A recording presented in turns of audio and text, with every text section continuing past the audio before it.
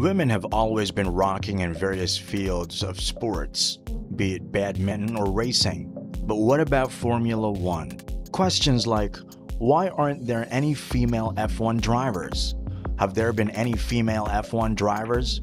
Will we be able to see them anytime soon? Have always been raised. And we have the answers now. Unlike the majority of other sports, motor racing never discriminates against any gender. That might sound cool in principle, but in reality, Formula One has been and will always be male dominated. Some various patriarchal attitudes and ideals prevented women from being F1 drivers, but Alpine has launched its program to debunk myths about women drivers. And you'll be delighted to know that it finally happened after years. They're putting in their best laudable effort to bring more women into motor racing. If you haven't heard about this, then you definitely should. And for that, you need to stick to the end of the video. If you're new to our channel, you can press the notification bar to gain more updates on various events and sports. Won't keep you waiting. Let's get started. Just ahead of the Formula One British Grand Prix, Alpine has recently launched its new program named Race Her, which will further assist in increasing the number of women in F1 teams. Not only that, but will also help enthusiast women and drivers all over the world to reach the pinnacle of motorsport. The team has announced that this initiative is designed to reinforce meritocracy across genders in all areas of the company, from technical functions to racing and competition.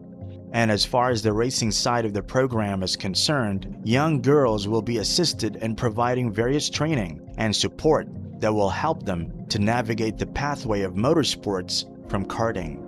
Not only that, the team said this program will also include the deconstruction of stereotypes using research with the funding of a scientific study to definitely break down all the pseudo-scientific alleged hurdles to F1 female competition.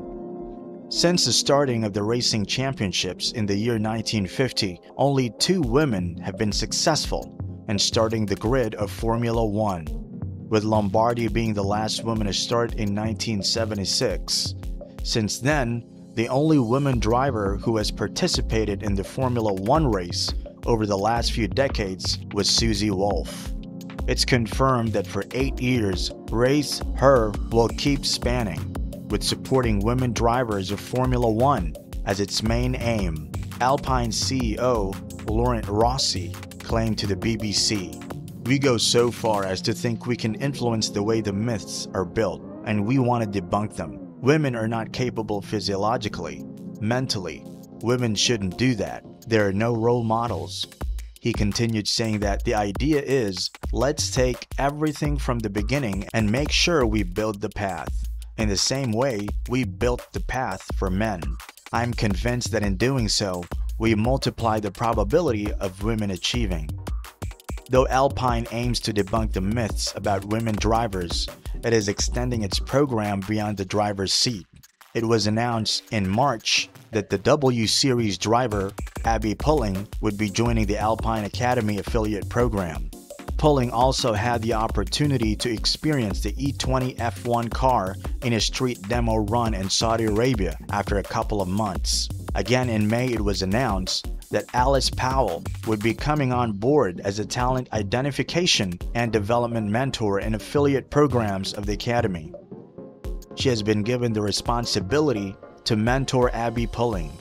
Not only that, but she would also be searching for new female talents. The Academy is giving the same opportunity equally to both males and females. Currently, only 10% of women are working with the BWT Alpine F1 team workforce. The French car manufacturer also decided to increase its workforce, which comprises only 12% women. It is focusing and planning to set a goal of increasing the number to 30% in the next five years. Woo, this is so cool. But wait, there's more of this. They have also planned to invest in STEM, STEM programs that will encourage women to indulge themselves in both technical and scientific fields. The principal of Alpine also commented saying the initiative is to make motorsport and specifically Formula One more attractive to females. He also added saying, and we looked around the ratio of females to males in Enstone and we're about 90% males and would like to redress that balance and make it more balanced. And at the same time, start making karting more attractive to young girls so that we can have a greater pool of young girls who want to go karting and see where that brings us in the long run. To, you know, having Formula One driver that perhaps are female as far as timing, the one thing I want to point out, especially for the team, it will remain a meritocracy. We will hire the best engineers that we can. However, from a timing perspective, we are now going out to universities and in our young graduate programs, trying to entice more females to apply for engineering roles. And that's happening now. For all these carry out, Alpine has been refunded by a road car manufacturer. Now we're sure that you already have the idea of the launching of W Series. The FIA Girls on Track initiative, which is all women in 2019. It was a free to enter championship, backed by David Coulthard, as an effort not only to eliminate the financial barriers, but also to provide equal opportunity as that for men to climb the ladder of Formula One racing. There, Jamie Chadwick was the inaugural champion who became the closest to making the leap to Formula 3, but unfortunately she didn't succeed. However, she has been leading the series with 100 points and has won four races this season. Just like this, Alpine also decided to initiate the extension of engineering and other disciples within their program. The vice president of human resources at Alpine Cars said that the program was initiated at the same time when they were planning to bring some changes to the Alpine brand. It was built from the idea of finding the best F1 drivers in the best possible cars to achieve world champions. He said, and today we're not exploring the whole pool of talent. We're depriving ourselves of half of humanity because we are not looking enough at women. So that was the starting point of this program and that's why it concerns engineering talents and also racing talents. And while we were developing this program, we didn't stop any other initiatives, such as what we're doing in W Series with Abbi and Alice. One of the most important aspects of this Alpine launched program is to find out the root cause that causes the difference between a man and a woman in a scientific way. This was done to have an impact no matter what it is, positive or negative that will help them to reach their ultimate potential as women F1 drivers. Plenty of theories have come to the limelight concerning body strength, which plays a role in junior categories where there is no power steering. This is a big pillar for the program, isn't it? Because if we see men are of different kinds with different weights, sizes, and capabilities, it's quite obvious that we all deal with various issues physical, emotional, and cognitive. It's quite the same way with men and women. And as far as the F1 race is concerned, it is a very complex job and needs lots of effort to master.